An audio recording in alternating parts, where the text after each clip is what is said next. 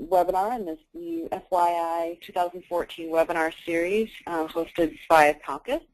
Uh, thank you for joining us from near and far this morning. Uh, today's webinar is Why Portugal? It's an ideal investment opportunity. So uh, lots of information on why Portugal is a great place to invest um, in technology and textiles and talent, but also should be considered as a location uh, to set up uh, perhaps your European headquarters or even open uh, a business. Our presentation today is given by Rui Boavista Marques, who is the Trade and Investment Commissioner for AICEP, uh, the Portugal Global Trade and Investment Agency. Just a, a quick housekeeping item. Um, everybody is on uh, listen-only mode, so if you have a question, please type it into the GoToWebinar console, and we will uh, ask the questions uh, to Rui at the end of the presentation. If you think of additional questions after the webinar, you can always send them to us directly at palcus at palcus.org. So just a quick introduction to our presenter today. Um, again, Rui Boavista Marques, Trade and Investment Commissioner. This is his contact information, and he is encouraging everybody to reach out to him with questions and um, ideas if you have anything uh, after this presentation. And below there is the website um, for AICEP as well. So with that, I'm going to hand over control to Rui so he can get started on his presentation. So thank you, Rui, for joining us today.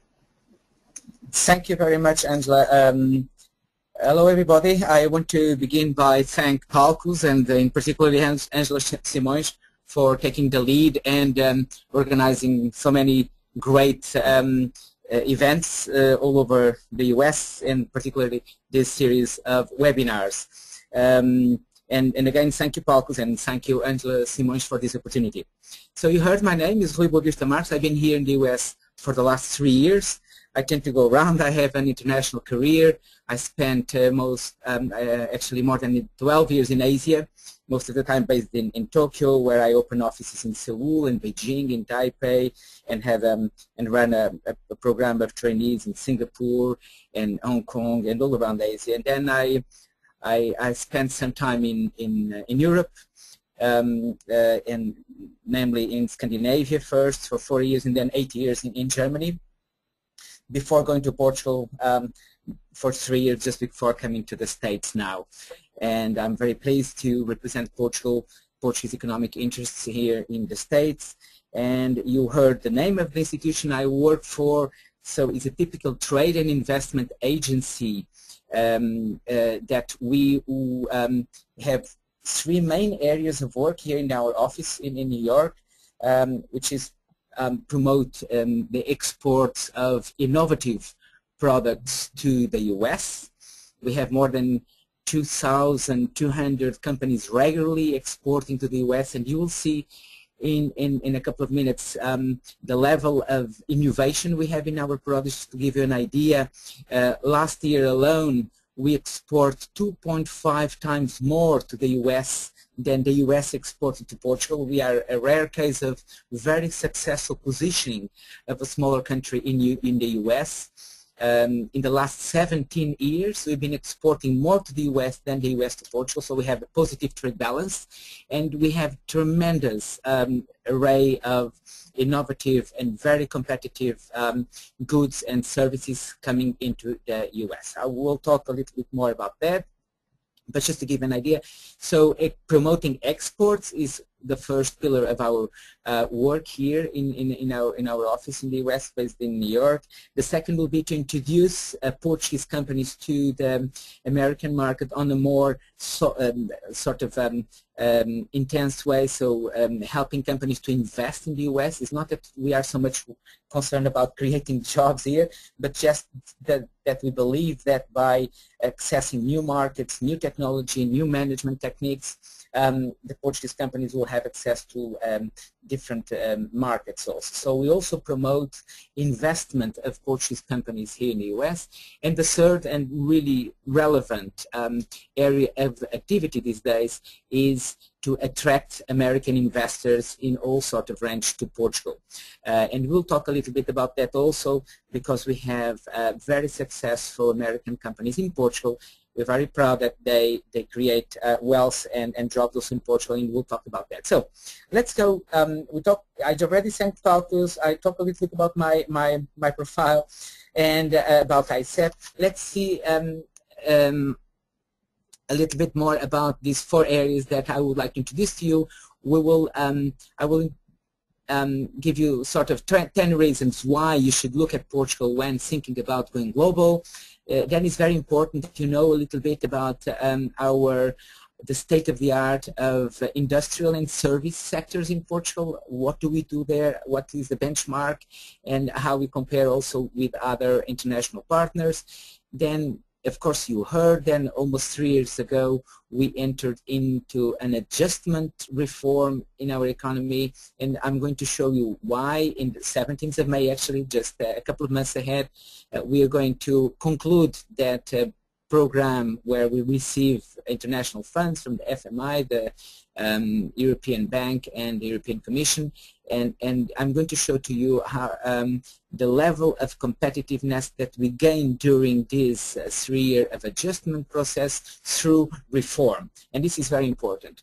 And I will just pinpoint at the very end um, the, the reforms that we did to attract investors and you will be uh, very, very eager to know about our Golden Visa program uh, or our flat rate a flat um, tax rate for expats that are um, the most competitive uh, in the world these days. So let's go for it.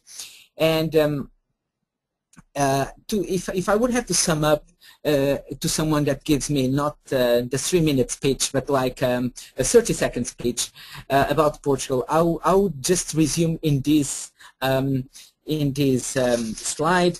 Let's say the more hard factors in the left side and the more soft skill factors. So I'll have I'll just speed away and say, look, we have a unique strategic location. We are the closest European country to the US. We are uh, very close to 500 million market in the European Union, very um, qualified and competent market where we compete very well, but we also have a lot of talent. So the qualified workforce is outstanding. That's why MIT, Harvard Medical, Carnegie Mellon, uh, University of Austin in Texas have offices in Portugal and they decided I mean, if you, I will just mention that later, but if you go to the site of MIT, they say that they're, that the most profitable, the most interesting international partnership they have is with MIT Portugal. So qualified workforce, very interesting set of competitive uh, costs high quality infrastructure that you will never saw here in the United States. You'll see broadband penetration, highways, you see a very well interconnected country and a business-friendly environment and a very proactive tax incentives and grants to greet investors. So this will be a package that I'll, that's a 30 seconds uh, uh, about a pitch that I'll say, look, this is why Portugal is very special, but I will have to add something more on the soft skill side that we are used to talk with foreigners. We've been on the global arena for centuries and that we have a very dynamic approach. And of course we know um, how to focus on, on client, on investor needs. We have a lot of flexibility. We know how to um, embrace partnerships and joint ventures. We are very focused, very pragmatic, and we have one of the best tailored incentives package these days. So therefore, just for you to know, my approach, will, I'll, I'll blend these two um, somehow more hard factors with the soft skills and um, that's how we would sum up. Let's go into a little bit more detail into some of these um, factors that I just sum up. For example, if you talk about the strategic location, you know it. We are the closest to the U.S. and we have a huge market. We blend the the access um, um, to two markets. So the almost 500 million of the European Union with um, a great and privileged economic relationship with um, the Portuguese-speaking uh, countries. And uh, who are they? We're talking about 250 million of Portuguese-speaking people and business people around the world with eight countries. Of course, you know about Brazil, but Angola and Mozambique are definitely countries that are on the emerging markets with uh, one of the highest growth um, and with a great potential and we are the ideal partners to that world also.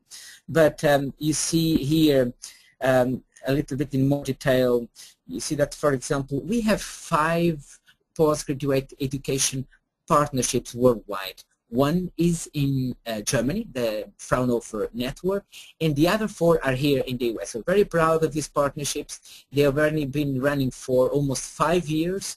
We just renegotiate with four because Harvard Medical uh, began a little bit later, uh, and we are now in the second phase. So we are uh, just for you to see the level of commitment of the Portuguese government, we signed contracts with these five institutions for at least 10 years, and we are really very committed to that. Therefore, you'll see not only the um, world-class education level that we have, but also the multi-language skills, and we'll talk a little bit more about that. You know that um, for example, Cisco and HP or Xerox have worldwide global centers in Portugal because of this. Because if you know that um, an average Portuguese speaker, of course, for English for sure, but he speaks French also, sometimes he speaks German, and he speaks, and you can imagine if he speaks English, French, and, and Spanish just like that, um, he will be able to cover, for example, a call center for Cisco. That's what they do in um, Africa, Middle East, and Europe. And that's why we are so um, attractive, actually so competitive for uh, shared service centers. On the competitive cost side, uh, we do, this is, I mean, international benchmark um, data, so you can find them in, in, in, in several professional uh, service providers. It's well known that Portugal has energy costs that are well above the other European partners, that our labor costs reduced, especially now during these three years of economic adjustment, and in terms of real estate, um, um, the price competitiveness it's outstanding, especially you compare with um, places like Madrid, Barcelona, or uh, Krakow, or Czech Republic. Um, you you would see um, uh, a very interesting package of uh, competitiveness. Now there is a couple of things that you really have to um, think um, when you put Portugal in the, in the global map these days. And for example, the Sines, the port, which is a port just south of, of Lisbon, between Lisbon and, and Algarve, if you are uh, familiarized with the geography there. Um, look, in my job, I tour around in the United States. So I go around, and uh, especially when I, when you talk about infrastructure, logistics and ports, everybody knows and rise their eyes about what's happening in Sines now because it's um, 20 8 meters, so almost 96 feet natural bed, um, uh, seabed um, port. So if you think, for example, what Miami, Norfolk, all, all the, the ports here um, in the East Coast have to do to receive the post-Panamax when the, the largest ships in the world when they will cross the Panama Canal. And all the work and the investment that will have to be done in all the um, American ports to receive those boats, those large ships, in Sines it's already there. It's natural. It's 90 feet, 96 feet deep. And um, uh, some of our Asian partners, um, like Singapore, that is managing exactly, if you see the picture on the top, is managing that um, wonderful new transshipment, as we call platform. So uh, it's for for trade, for example, with Asia. Can you imagine that without going to all the very congestion ports in the northern Europe, like Amsterdam or Hamburg, you can just come with the big ships here in the west coast of Portugal and transship uh, all the cargo to smaller boats that can go either to the south to the Mediterranean Sea or either to the north to Northern Europe. And that's this port of, of is going to play a very important role in, um, in the future in terms of logistics and it's creating one of the most exciting novelties in logistics and transport in the current days. Now, um, in terms of uh, information and communication technology infrastructure, um, we have been winning prizes of, as you can see, the United Nations Public Service Awards. Um, we've been winning these sort of prizes for online public services. And as you know, if you travel in Portugal, you'll see the, the number of, um, of services that we provide in the ATM. In any ATM, you can, you can pay your taxes, you can um, buy um, um, movie theater uh, tickets. We are the country that has the largest, by far, the largest number of services in ATMs and online, and especially when it um, it um, it takes to um, when you when you're talking about public services. So this is a very important. Of course, it features also well with other aspects like the broadband penetration that we are really on the top 20 of highest use of optical fiber and broadband access. But um, it's interesting to see also that uh, the level of sophistication of the consumer, of the normal citizen in Portugal that is used to all these online services. And that's why, we'll talk also a little bit about that later, that's why so many international companies choose Portugal to test products. As you know, we're talking here in the US about um, 4G. We are testing 5G in Portugal. There are some international mobile operators that are testing already 5G in Portugal. That's that's that's how how um, somehow a small population, of course, of 10 million people, but very homogeneous and used to very sophisticated online services and, and, and broadband that makes us a, a very interesting um, place to test new products. And of course, as I was talking, um, that we are a case study in, in um, e-government, and of course we have one of the fastest um, um uh, entrepreneurial systems these days. You take takes less than one hour to uh, set up a firm.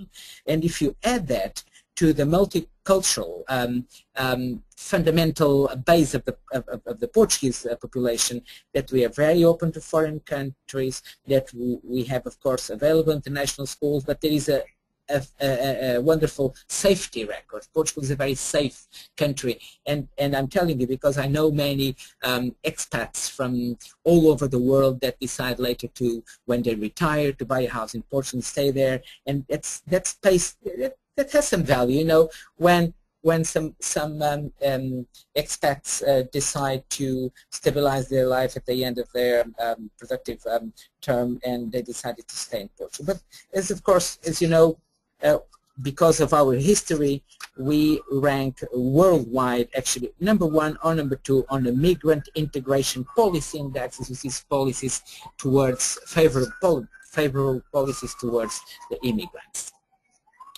Now, um, of course, the best card here is like um, showing the track record, who already decided to be in Portugal and who is happy and who is expanding.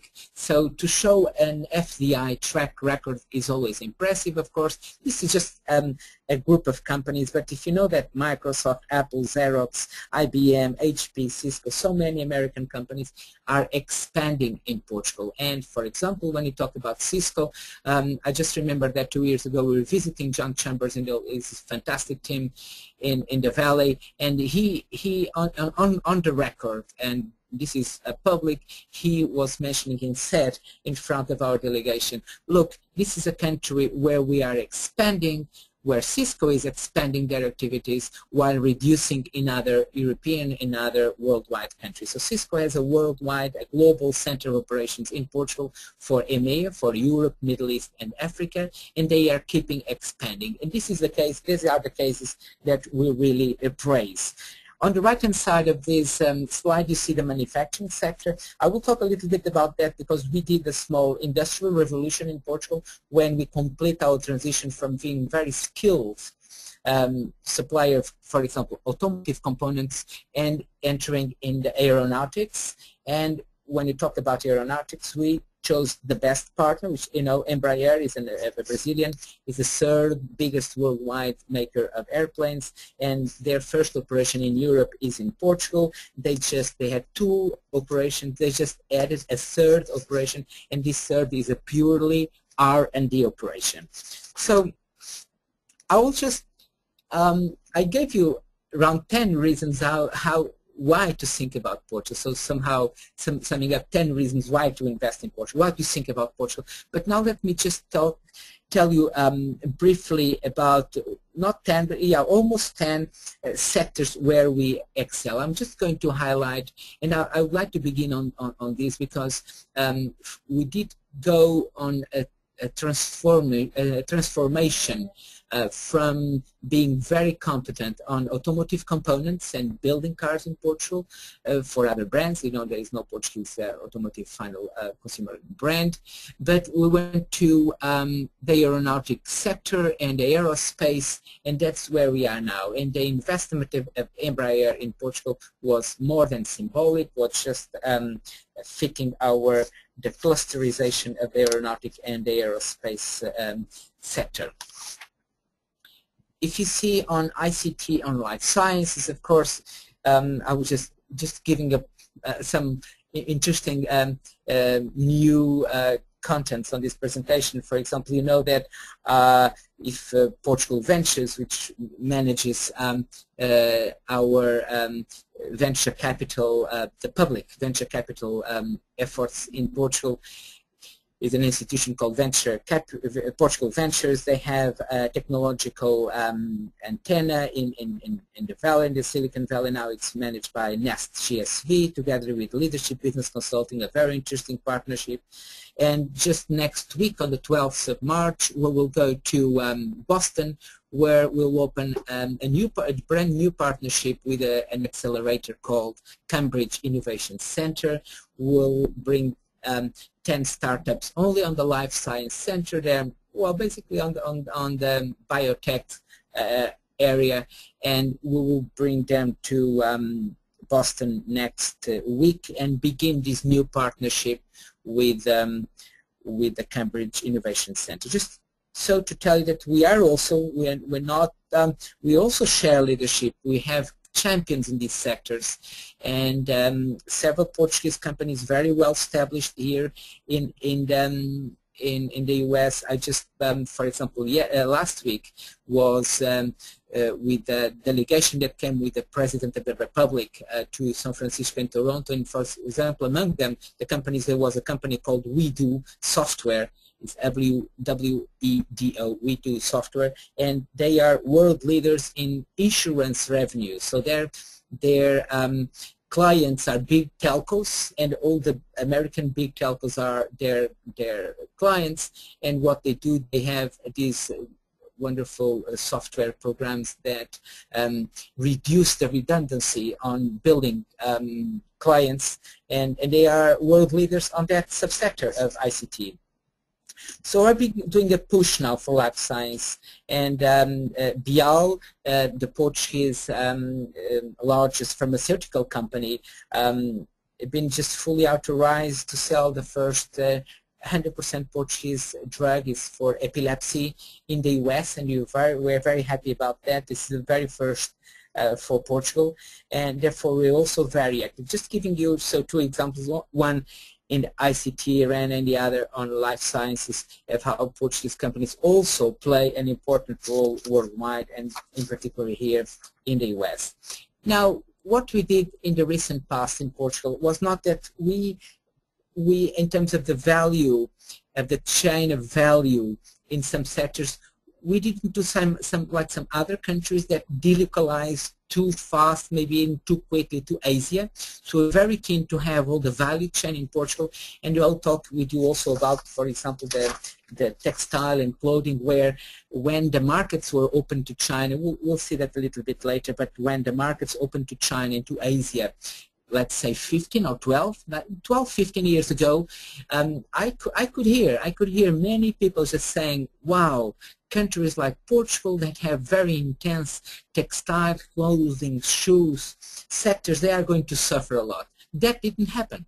That didn't happen, and we have a very, very competitive and very proud, um, and we'll talk about that sectors that were somehow, let's call them, we used to call them traditional sectors, but they are not traditional sectors. They are sectors of tradition. They have been there forever. They've been there for many decades, hundreds of years, but they adopt R&D, they adopt innovation, design so eagerly that they are now still on the top. So, and agriculture, fishing, and food industry begins on these sectors also where we've been developing very interesting um, companies and products, and of course the pulp and paper uh, sector where um, um, you know, for example, Renova, if you can, you know Renova is a worldwide known um, company for their black toilet paper. It's a company that produces toilet paper and tissues, but they have a full range of colors. They and and and, and as you know, uh, in their ads,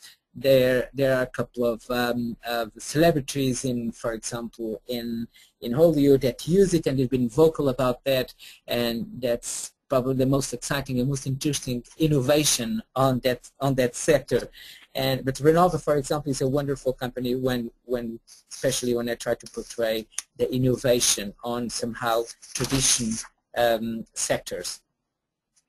But of course, we have um, um, petrochemical um, uh, um, competence system also, and as you know, for example, uh, the the first item of exports from the from Portugal to the U.S. is um, um, refined gas, is gasoline. So um, our plants have to be very competitive. You know, on the mining sector, as you know, is, is a sector where the Canadians are specializing. There are three or actually four large um, scale Canadian companies um, doing mining in, in, in, in Portugal where we have very vast um, um, deposits of um, ore, copper, zinc, and tungsten. So it's a sector that is quite relevant for Portugal. And now let's go back a little bit for what I was telling about the textile, clothing, and shoes industry. It's quite remarkable how actually after all these um, expectations of, comp of competition with, with, especially Asia, um, we have we managed to not only keep the jobs and keep the, these hundreds of companies that we have in the sector in Portugal very competitive and, and able to um, present the world with, with, with innovation and, and very competitive um, um solutions. Um, I will just um, jump then to um, to uh, the four last sectors that I would like to mention. And renewables is something, as you know, that it's uh, where Portugal is a leader. Uh, we were the first country to have, for example, wave energy linked to the grid. So it's not a pilot only. It's not like there are pilots of wave energy um, in, in, in, several places in the world. It's to have um, a pilot area of wave energy where you develop integrated solutions in smart grids and link that energy to the grid so that is explored in a commercial way. And Portugal was the leader in this sector as it is a leader in, in, um, in a very successful combination of hydro, so water, hydro, um, wind, and solar, biomass, and wave energy. And we are also now taking big steps ahead uh, on um, deep, uh, deep, um, deep um, ocean, uh, deep water uh, windmills the Portuguese electricity utility partner with actually company from Seattle. It's called the Principal Power. And uh, this partnership, this Portuguese-American partnership, uh, is managing now um, a, a, full uh, commercial um, uh, deep water windmill park uh, in the coast of Portugal. And again, one of my favorite one of my favorite sectors is the business service sector. Um, if you uh, remember some of the items we talked about uh, more on the um, hard factors that I was mentioning, the competitive costs of energy, of location, um, office space, Plus, if you remember, we are talking about the flexibility, the multilingual, multilingual ability of the Portuguese, and then you make an, a fantastic ecosystem for business services um, sector. And that's why you see um, not only Accenture, Deloitte, but also IBM, and as we told, HP, especially Cisco, Xerox, Ursula Burns, the CEO, was just there last month in Lis last year, sorry, in Lisbon, uh, opening the global service center for share for Xerox in Europe, and that's what they say. We have um, amazing um, testimonials about uh, and um, good experiences, international business uh, processing uh, services and outsourcing services have in Portugal. And now the very last ones, I would actually I could have linked these two sectors with the with um, with the automotive uh, component sector because this is really they are these sectors are you know like the backbone of the Portuguese industry. They are there. They've been uh, adopting um, incredible um, competitive management um, um, processes. And for example, you see on the metal working on the right side of this slide, there's a company there in the, in the middle called Sodécia. It's a wonderful company. It's located in the north of Portugal, close to Porto in Maia. I was just last week also on them with them with the um, directors of the board here in the U.S. in Detroit. This company from the north of Portugal is able to come to Detroit um, uh, in 2000, in the beginning of 2008 good timing to acquire a Port um, an American company that was in, in, in deep trouble. They only had one only a one-tier supplier, uh, one-tier uh, company client. They acquired a company in Detroit that was that had four factories in the U.S. and two in Canada, six plants, six six factories of automotive components. They do a a turnaround of management that they put them, the company is viable in two years' time.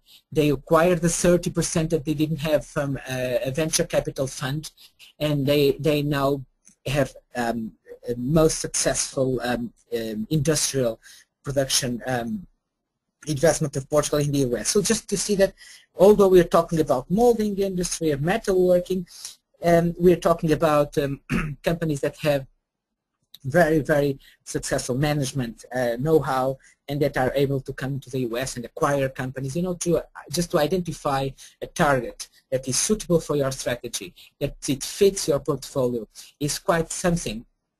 But to do it in a in a in a very um, a successful way is another. And and just the case that I just mentioned, the Sodécia Group, has just done that in the U.S. Now I'll just um, would like to go to uh, the two uh, last parts of, um, of this seminar. It's important for you to know because if you read, you read the newspapers, you read the economic, you read the entrepreneur, you read innovation, um, online data, and you, see, you know that Portugal had this chance. We had basically to use this chance to when we have reformist agenda and we are committed to structural reforms, then we, our intention, of course, our objective, our vision is to come out of these three years of adjustment program in a more competitive fashion, in a more competitive way. And that's our, our, our really our, our target. So we have to tackle in these four pillars that are here listed. And one, of course, is, is has um, a direct link with the judicial system is like how confident our, our uh, investor can be in our structures, how credible how, how are our institutions, and on the second um, um, box you see.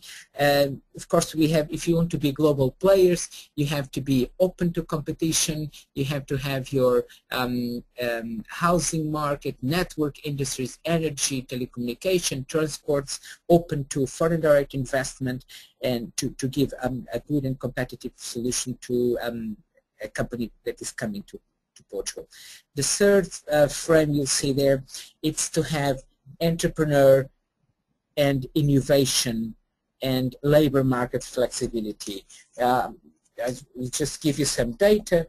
Just the beginning of this week, actually yesterday, um, um, a report came out in the European Union, and among 28 countries in the in Europe, Portugal was the one where the growth of investment in innovation was bigger, was 39, 3, sorry, 3.9 percent, and this was the biggest um, invest, the biggest increase of investment in innovation. Of course, we still have a long way to go. We are somehow considered um, moderate innovator. Of course, we want to be on the, on the top league and we have more to do, but uh, please just bear in mind that a lot was done in these three years. And of course, um, uh, we believe that the, since we believe that the the way of the of the of the state companies of the state in economy was far too big, we had to privatize and we have to change some uh, rules on the public procurement. And that's what we did. On the privatization side, uh, you probably were aware, we privatized the energy utility, uh, the energy distribution, um, the airport concessions, uh, and um, we attract investment from all over the world, but uh, mainly so far from Asia and the Middle East, but we're very eager to have um, more American investment also.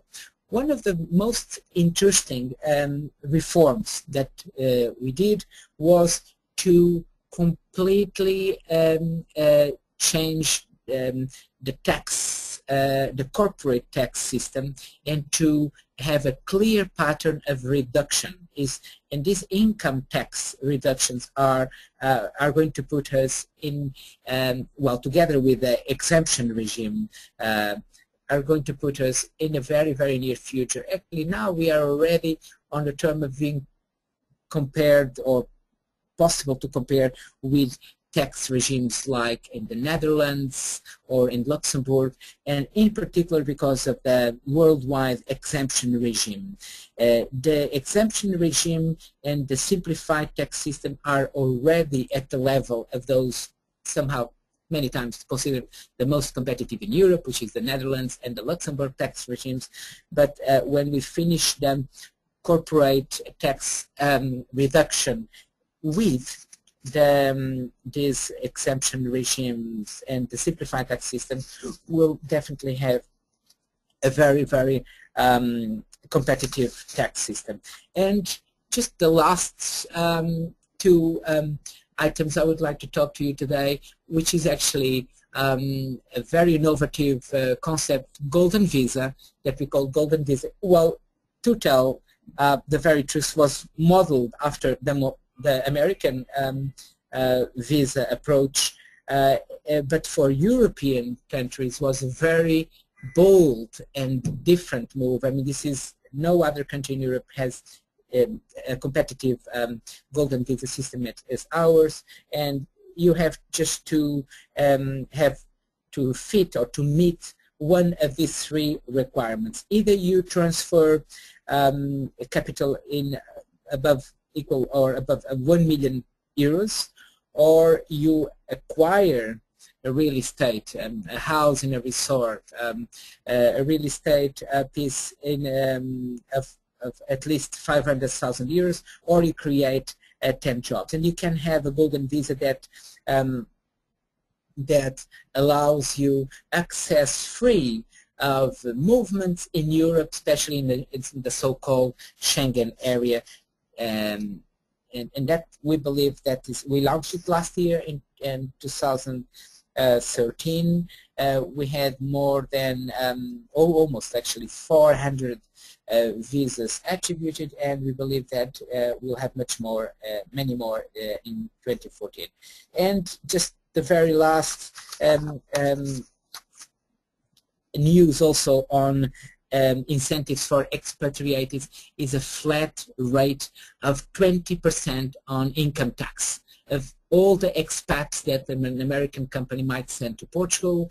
Uh, and this is really um, a novelty in Europe. It's much lower than in other countries, and uh, can you imagine a flat rate of 20%? And that's been also attracting uh, high added technological companies to Portugal um, because they can send their upper management positions, their um, expatriates, and have so low um, income tax. I will not go uh, into many details about the, the taxes, the, the grants and incentives um, uh, because that's a little bit too dry. I would just like to leave you with uh, the two last examples that I mentioned. So the corporate tax reform, a new golden visa, a very low, one of the lowest in the world, except um, uh, income taxes, as very clear um, measures to attract investors to So we believe that we are coming out of this crisis,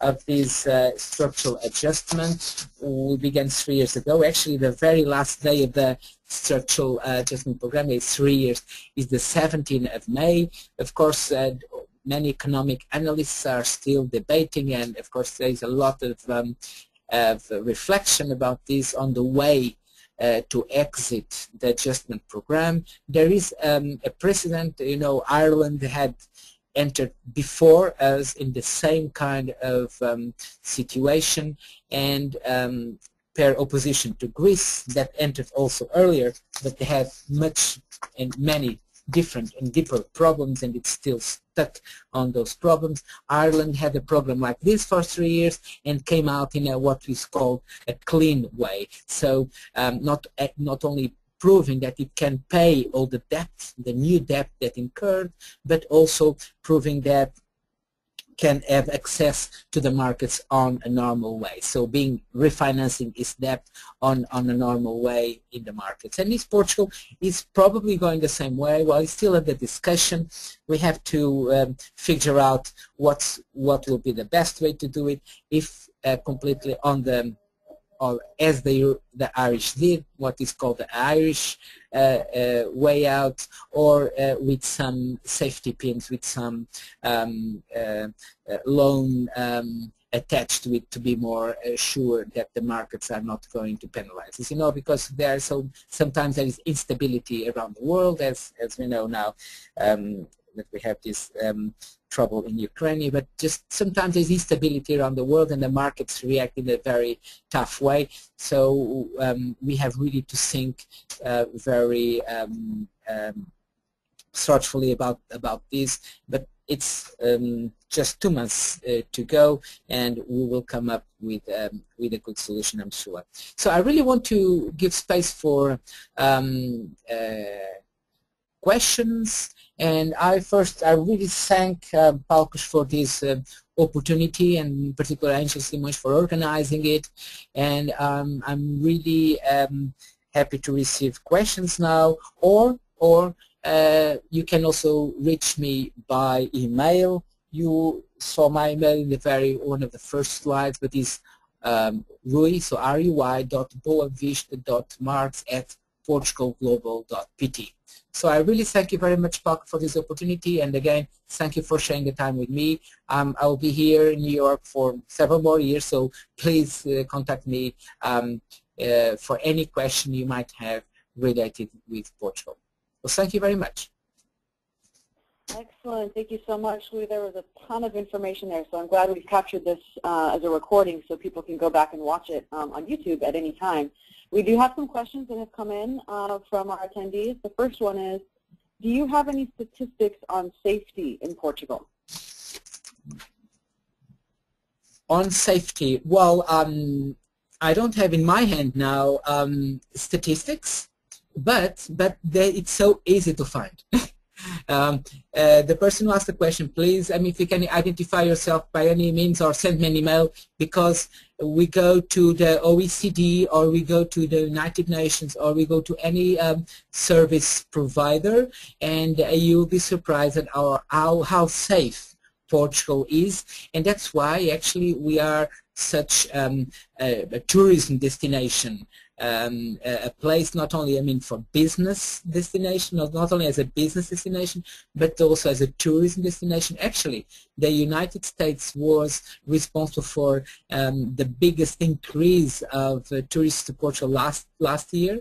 Uh, the income from the American tourists increased almost 24%, and uh, the number of tourists was uh, also 18% plus. So we are assisting to a surge of, of of um, more and more Americans going to Portugal, and that plays also a role. It's because the, the perception of safety is very big. And uh, actually, everybody that goes there, you can also find some testimonials on, you know, just on, on Facebook or, or whatever, that people really um, uh, feel comfortable in, in, in Portugal, that um, somehow the Portuguese people are hospitable people, that we welcome foreigners, and that is not only for the business purpose but also for tourism, tourism purpose is quite um, uh, possible to, to prove that if you want some statistics, yes. Thank you. Yes, I, I have to say personally my experiences every time I visited the country I've always felt very safe. Um, so that's, that's good to hear. Another question, would also love to hear about how Portugal might be considered a gateway to the rest of Europe. And I think you touched on this a little bit in your presentation, but maybe expand a little bit on, on how that happens, um, Portugal serving as a gateway to Europe. Yes, definitely. Thank you, Angela, for pinpointing that in more clear way. Uh, is that is not only like because of geographical regions. Okay, um, Portugal is the closest country to the U.S. in terms of uh, miles in terms of, of actually physical distance. But it, it does make a difference if you uh, arrive in a European country that is welcoming, that has is able to do reforms. We know that we have many things to to um, better in Portugal, to uh, correct, to we have a long, a very long list of things that we have to to um, improve. But with these three years of crisis, we've proven what we we proved to the world, we and we can share all that is that. Um, Portugal is not only a much better country after these three years of crisis, um, uh, also that not only being welcoming and having these low costs of investment, have, uh, not only having this pool of talent, that you can um, establish your own operations in Portugal. Like, for example, I give you an example of um, a, a, Silicon Valley company, Monkey Survey, that has its European-based um, operations in Portugal, and, um, and, uh, and many others, like Cisco, I told you others. So therefore, definitely Portugal for some sectors more than others, I would say for services probably more than uh, for manufacturing.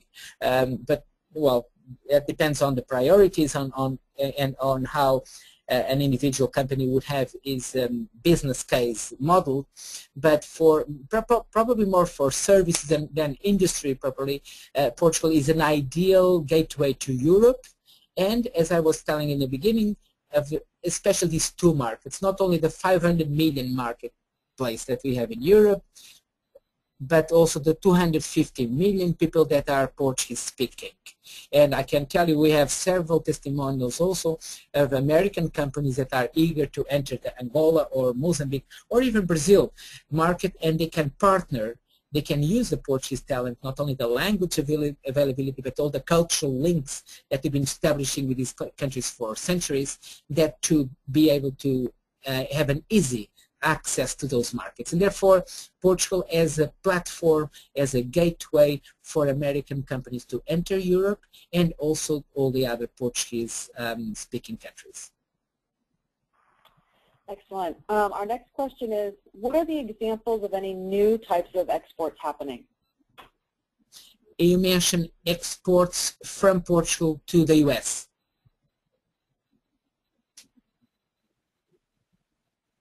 Yes, I believe so. yeah, well, well, if you're talking, as you know, um, as I told in the beginning, um, we have around 2,200 companies exporting regularly to the U.S., and that's and that you export almost 2.5 more, 2.5 times more to the U.S. than the U.S. to Portugal. So our pattern of exports to the U.S. is much more diversified than the other way around. And what I can say is that on the sectors, on the 10 sectors that I showed to you, you have innovation in all of them. I mentioned, for example, WeDo, the software company, but there are more. There are OutSystems. There are many other companies that have strong, um, well, critical software for sure. That was the first company that, and, and actually to have, to service NASA, and um, while OutSystems serves the U.S. Army. And as you know, NASA and the U.S. Army have very you know, a stringent, difficult criteria to get in. and we have the software companies, um, the Portuguese software companies in very well positioned there. So you do have a lot of innovation and uh, novel products, but it's interesting to see, for example, that even in the what as going back to the our talk about the the so-called traditional sectors, for example, in fashion and cork, uh, what we uh, we could see is like um, a company called Pelcor, with a very innovative leader called Sandra Correia, and she's been exporting.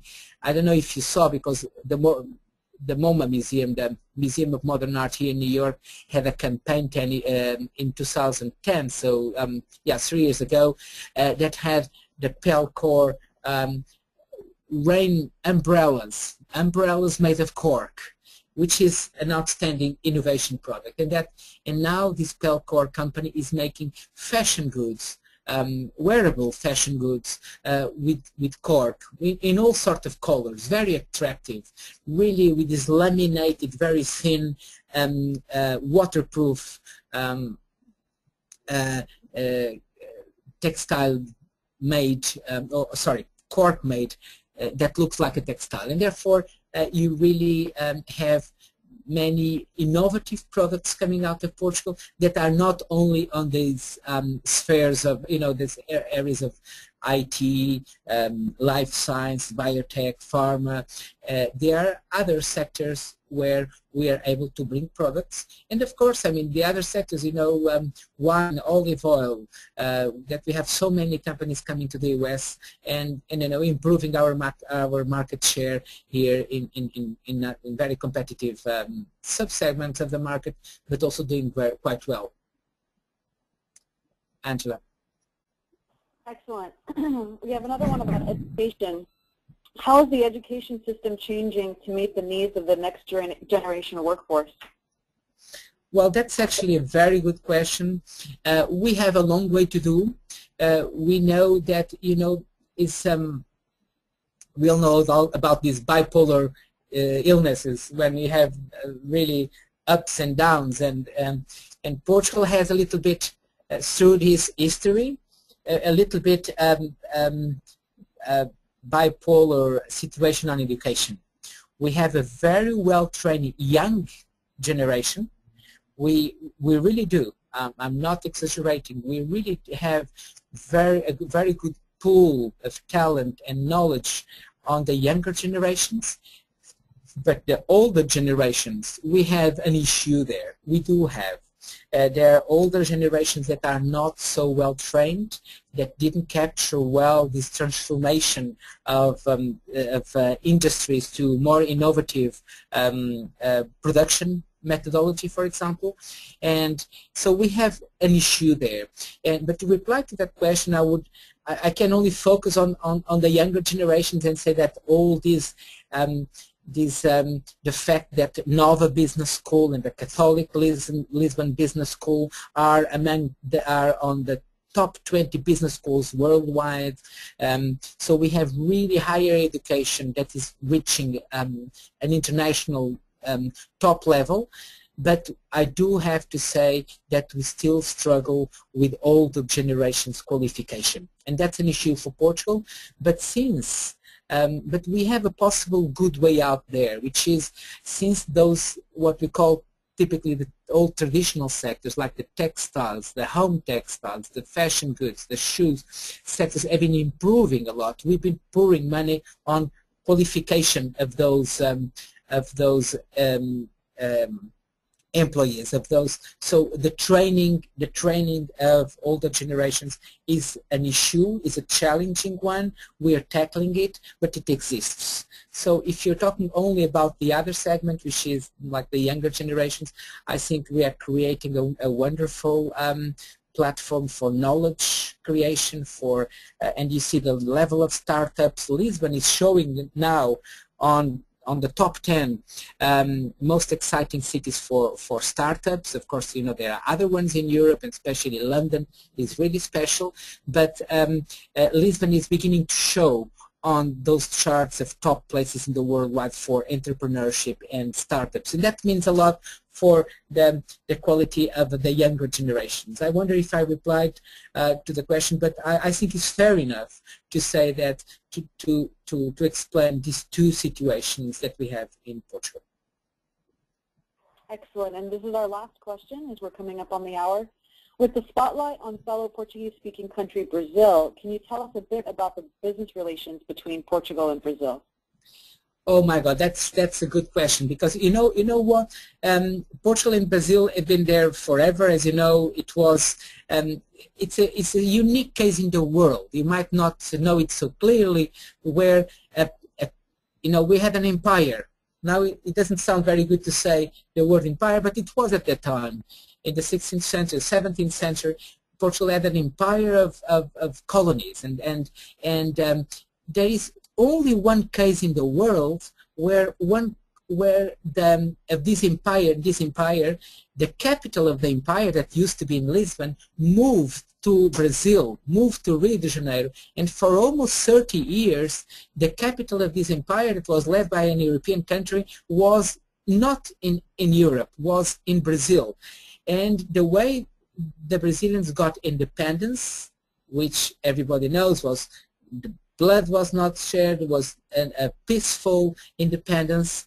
Uh, it's also unique in historical grounds. So um, our relation between the relation between Portugal and Brazil is a very unique one, very deep, and actually um, outstanding from the point of view not only of historical reasons that was I was mentioning, but of, of, of, um, of uh, the potential of joint ventures, for example, having now one example, the Portuguese biggest telecom company, PT, merging with the second biggest in the in Brazil called Oi, which is OI, Oi, and creating a, a true a true um, transatlantic um, um, business venture between the Portuguese and, and the Brazilians. And also the investment of Embraer, so the third largest um, aeronautical company uh, in the world investing in Portugal as the first investment in Europe.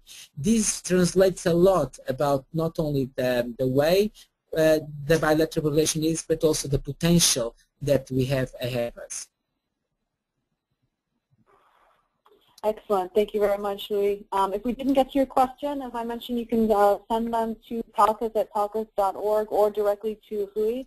Um, and uh, we will be posting this um, uh, webinar, the recording, the actual video recording, on our YouTube channel very shortly. And the PDF of the presentations will be posted to our website and our Facebook page. So we encourage everybody to share these uh, resources with family and friends. Um, and if you have a suggestion for a topic for a webinar, we are very open to, to lots of different topics, so we would we definitely want to hear from you.